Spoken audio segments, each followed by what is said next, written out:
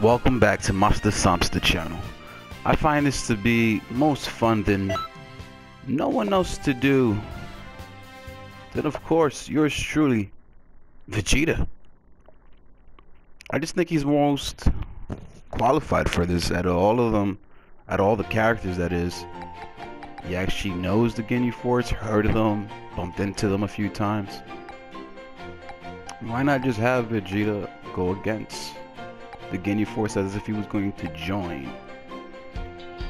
But he's not necessarily Super Saiyan at this point of the story, so Have you said your just keep it prayers? Regular. Be sure to like and subscribe at Masta Samsta. Go on Facebook, look up Master Font. Excuse me. Go on Facebook, look up Masta Samsta. Click the link, subscribe, and like it. If not, just don't.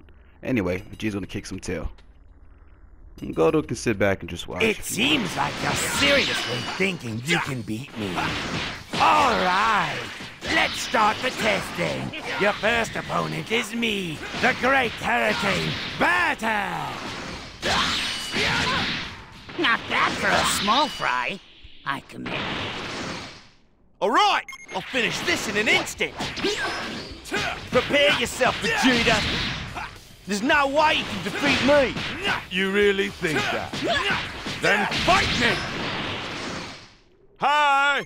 I've been waiting for you, noob. So, which one of you is taking the test?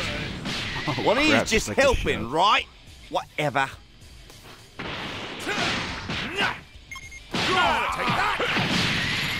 Good, good. You're doing real good. Keep those attacks coming.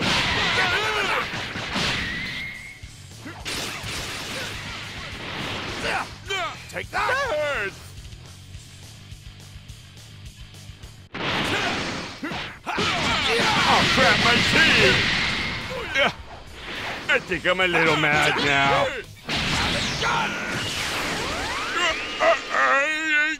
What?